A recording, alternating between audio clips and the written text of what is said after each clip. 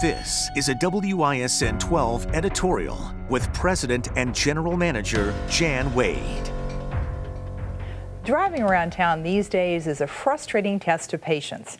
I'm not talking about the big freeway work, we're all pretty used to that, but rather the local street projects all around us that keep popping up without warning. Round every turn and down several streets, including down the middle of the street for the new streetcars. These are just signs of the times. Multiple orange barrels, road closed, no through traffic, do not enter, detour.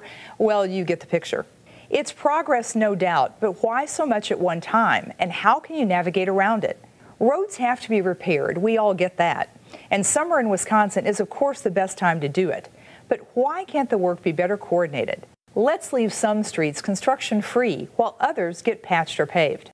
Drivers can go to websites or download apps to try and keep up, but any GPS will go into overdrive trying to keep up with all of this.